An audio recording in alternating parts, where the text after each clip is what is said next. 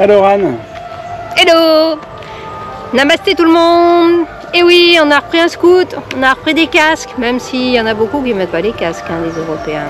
Pas bien. Et là, on est en route pour Auroville. C'est un grand ashram en fait. C'est devenu un peu touristique, les gens viennent voir, et puis il y en a qui restent des années et des années. Là, combien? 3700 habitants? C'est ça, 3700 habitants actuellement. Donc euh, voilà, on va aller voir ça. On est curieux parce qu'on ne sait pas si Alors c'est pas tout à fait un ashram, hein, euh, touristique ou pas touristique. mais on en reparlera de ce que c'est exactement. On va aller voir. Voilà. En tout cas, on est dans la, dans la forêt, dans la nature. Il y en a un qui vient chercher des sous là. Ah non, il veut manger. T'as même pas un petit billet de 10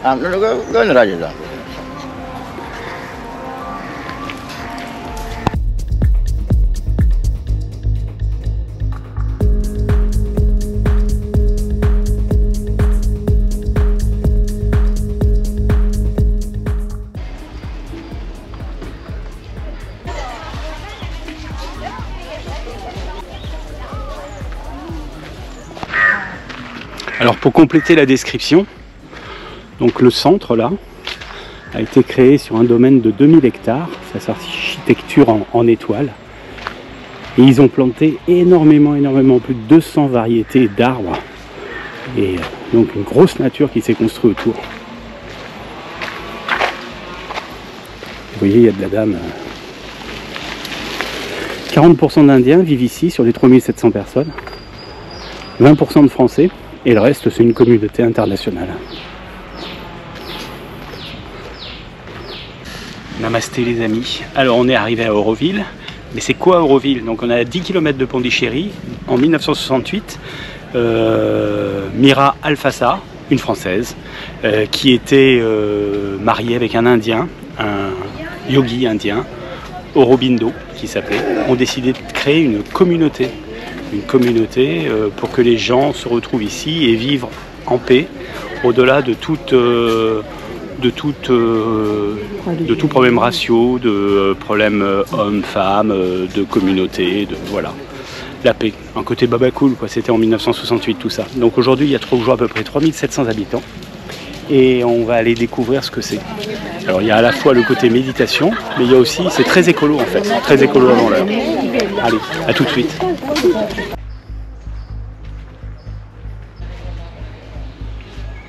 Une forêt, même pas, un seul arbre.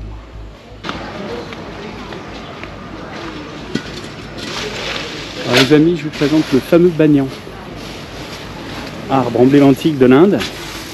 Regardez celui-ci, il a sa particularité en fait que depuis les branches, des racines qui sont quasiment devenues des arbres descendent et rejoignent le sol pour alimenter l'arbre. Et elles descendent, on dirait vraiment. Ça, c'est les racines de l'arbre original. Et ça s'étend. Voilà, une branche énorme en travers là.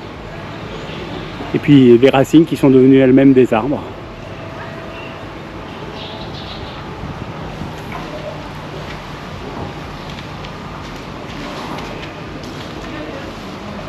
La nature est belle là.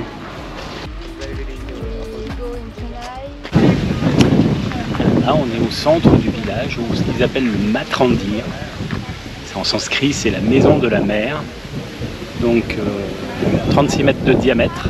Cette boule là-bas, couverte de plus de 1000 euh, cercles là d'or. C'est, ça a mis 35 ans de travaux, je crois. Un truc euh, Ouais. dingue. C'est bien conservé en fait. Ah C'est ouais. pas, c'est pas laissé à l'abandon Non, du tout. euh, super, c'est super entretenu autour. hein. Ça vit. hein. C'est un lieu pour la méditation. Donc euh, en tant que touriste, si on veut aller méditer, il faut réserver sa place. Il n'y a que les habitants d'Auroville ici qui ont un accès euh, permanent au lieu. C'est un peu comme le temple du lotus à Delhi.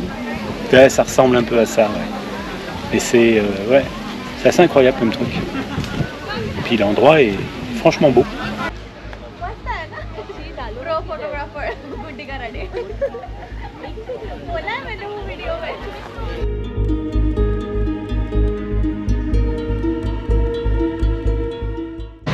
Elle est en train de se dire mais pourquoi il allume la caméra? Qu'est-ce qu'il va vouloir que je dise? Qu'est-ce que je vais dire? Je vais dire que Je voulais, ouais, moi je veux te poser une question. Alors cette communauté, On déménage, on déménage pas? Et il faut faire ses preuves pendant trois mois avant de pouvoir intégrer la communauté. Non, t'intègres pas. Au bout de, au bout de trois mois, t'intègres, mais t'es pas encore admis définitivement. Ça va durer longtemps après, Il faut que tu fasses tes preuves. bien sûr.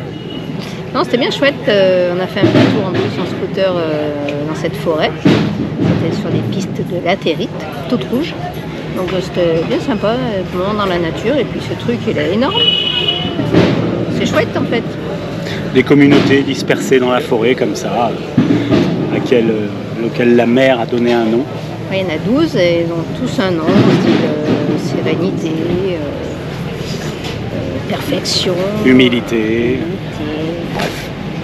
Enfin bon, il y a un peu des limites parce qu'il y en a qui se font construire des maisons avec piscine. Alors euh, je sais pas pa- C'est pas, la c'est pas hyper cool, hein. on pourrait le croire au départ, mais c'est pas comme ça.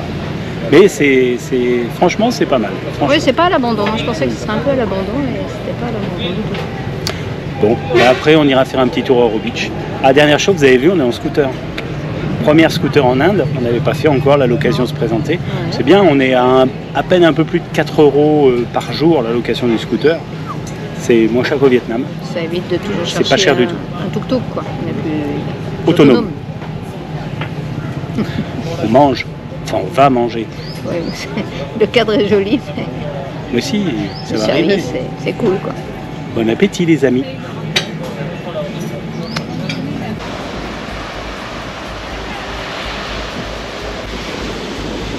Un petit chapeau à la Napoléon là non?